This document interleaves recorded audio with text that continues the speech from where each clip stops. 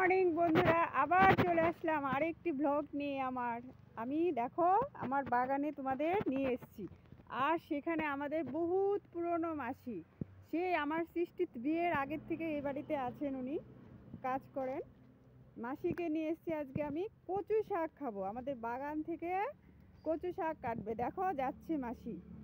আর দেখো, বাগানে কত, এই যে বাঁশঝাড় কত কিছু আছে। অনেক রকমের গাছ। কিন্তু আমাদের মেন উদ্দেশ্য হচ্ছে আজকে আমরা কচু শাক খাব।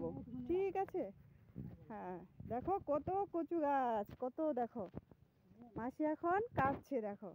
এটাকে আমি কি করব? পরে রেসিপিতে তোমাদের দেখাবো কচু শাক কীভাবে রান্না করতে হয়। ঠিক আছে বন্ধুরা? দেখো, কাটছে। আমি মাসি আসছে, আমি বলছি, মাসি, আমি কচু শাক আমার খেতে খুব ইচ্ছে করছে। হ্যাঁ কেটে নাও। হুম, দেখো, কত গাছ। পুরো এই যে দেখো আমি তোমাদের পুকুর দেখাচ্ছি। পুকুরে কত জল হয়েছে, সেই জল। দেখো দেখো, কত গাছ, গাছে গাছ। দেখো মেন রোড মেন রোডের পাশে পুকুর, কত পানা হয়েছে। আমি তোমাদের, আমার পুকুর আরেকটা বিশেষত্ব হচ্ছে, এখানে আছে আমাদের শিব মন্দিরের জন্য আমাদের এখানে বানেশ্বর বিখ্যাত। মোহন মোহন আছে, কচ্ছপ। সেটা যখন আসবে আমি তোমাদের অবশ্যই দেখাবো। ঠিক আছে বন্ধুরা? দেখো, জলে টই টুম্বুর এই যে এখানে বাঁশঝাড় এই যে মাসি কচু গাছ কাটছে।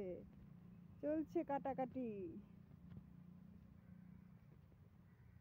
বিশাল বড় এরিয়া, দেখো, গাছে অরণ্য, শুধু গাছ আর গাছ। এখানে পিকনিক স্পটের জন্য খুব ভালো হবে।